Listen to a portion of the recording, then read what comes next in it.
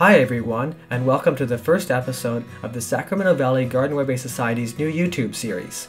My name is Ben, and our plan for these videos is to bring you new content with some of our region's garden railroads, layouts under construction, tips and tricks, and videos from our events. Um, our plan is to release them as often as we can, ideally once a month, but we really will need your encouragement to keep that content coming. So um, please enjoy the video and then subscribe, like, comment, and ask questions just to help us keep going with this. So without further ado, let's roll the video.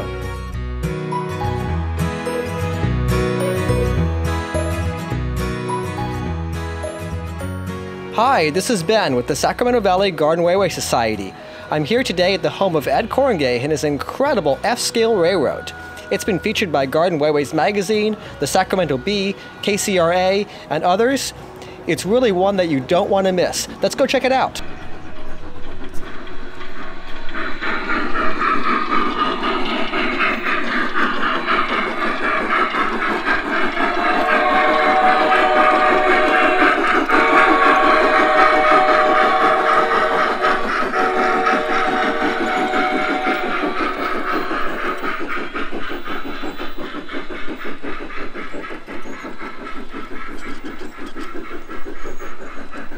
Theme of my railroad is historical sites in Northern California. Basically, it's it's a, a modern day railroad using historic trains and cars that allow you to visit all of the historic sites within an hour drive of where I live here in Rocklin, California.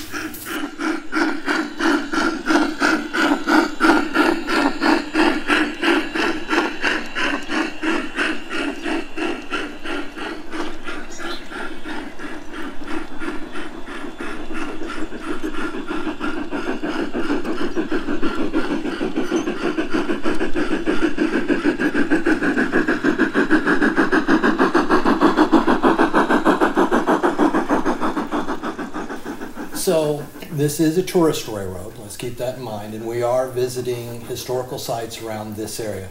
So the passengers would load here. I have a passenger platform here for the for the passenger train, and the first stop on the trip is Roseville Station. At that point, the passengers can leave the train and go looking around in the area. There's an old steam engine house that they can visit. There's also a coaling station, a water tower, or they can climb the hill and visit the Amador Mine Complex.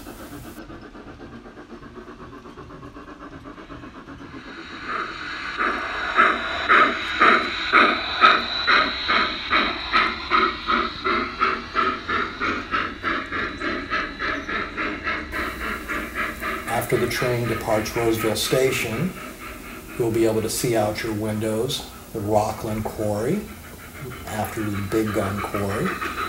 You'll see the foothills area of Loomis with farming. You'll also be able to see Sutter's Mill off to the right side of the train.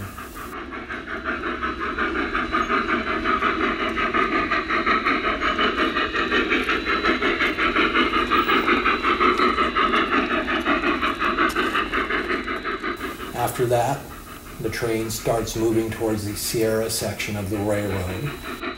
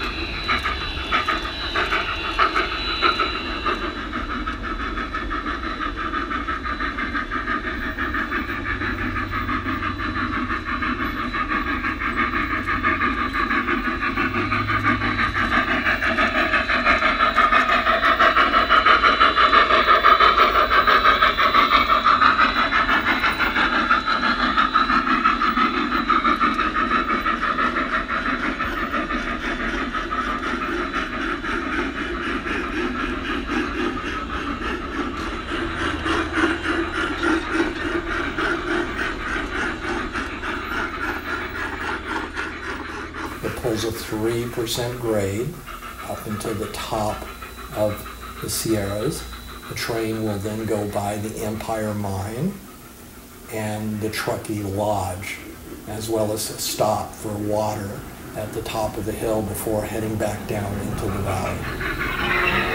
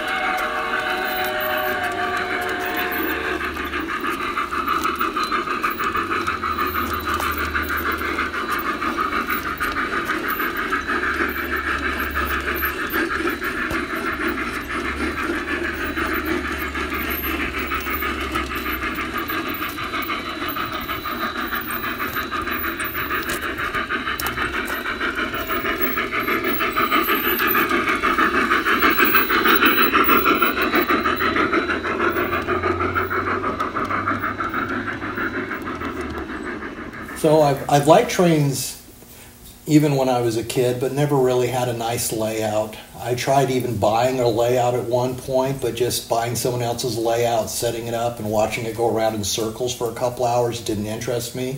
Visited a friend in Arizona. One of his neighbors had a garden railway, and that's kind of what got me hooked. It looked pretty simple. It just throw some track on the ground and the train goes around. Little did I know it was a lot more complicated and difficult than that.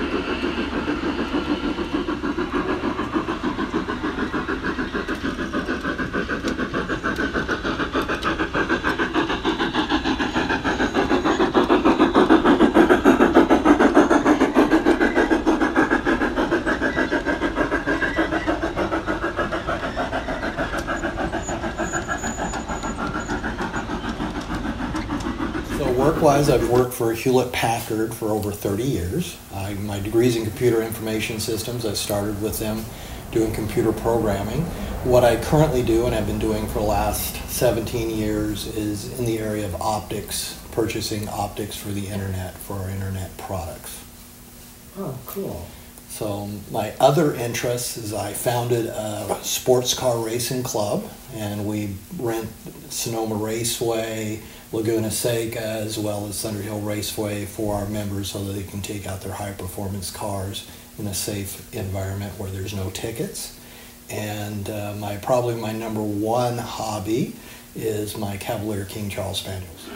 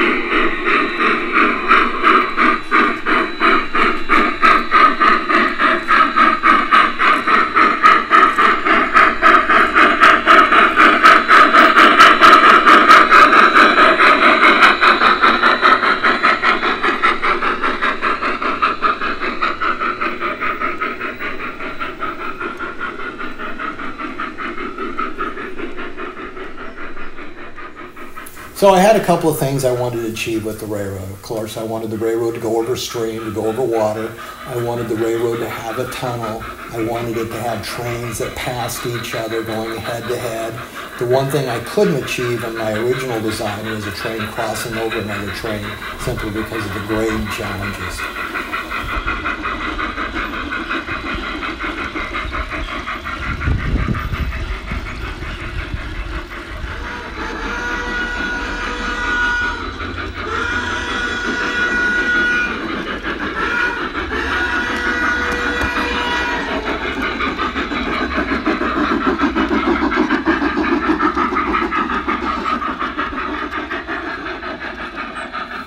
Nature throws challenges at you.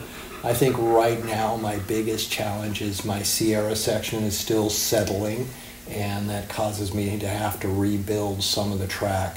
What I've done to make maintenance a little easier is just about all of my track is set in concrete. So the only part of my railroad not set in concrete is the wooden trestle sections.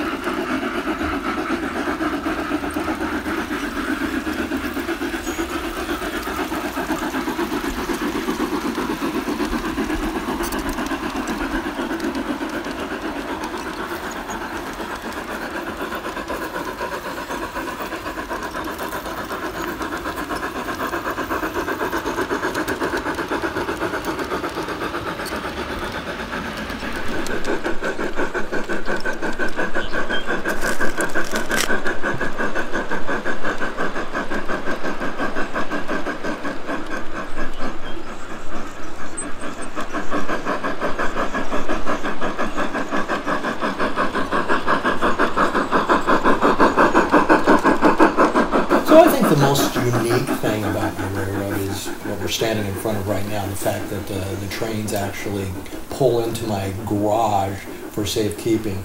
To run my trains, I don't have to take them off the track at all. All I, when I want to run trains, hit the power, back them onto the main line, and I'm out running.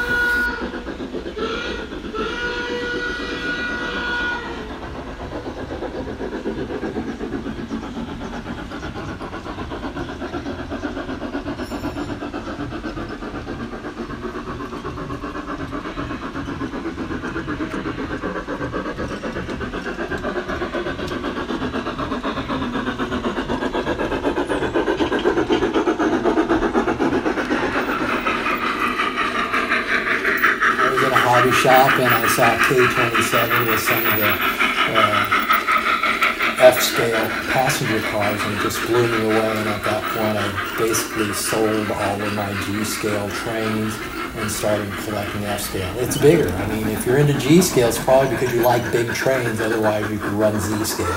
But and the biggest trains are F-scale as far as the detail and everything like that. Though I have once again added one G scale train back into my collection, so I guess I can't say I'm a purist.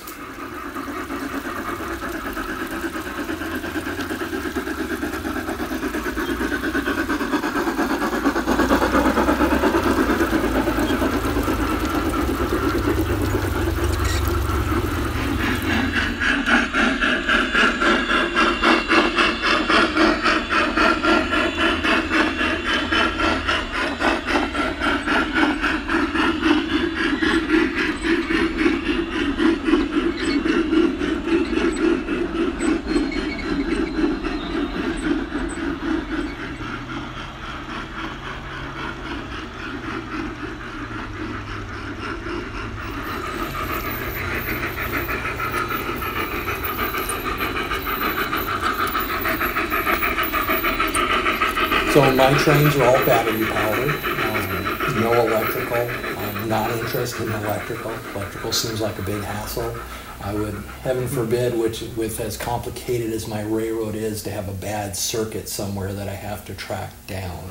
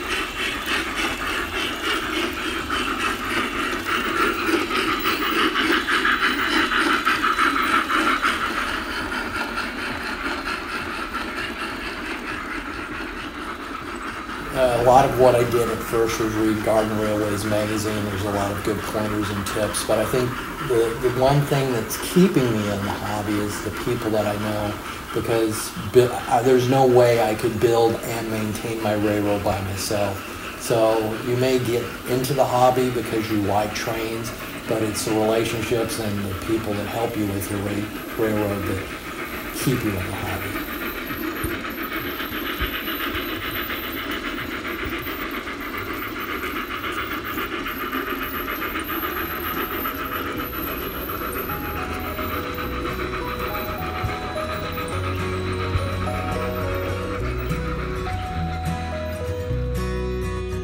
Alright, well that's the end of our first layout tour.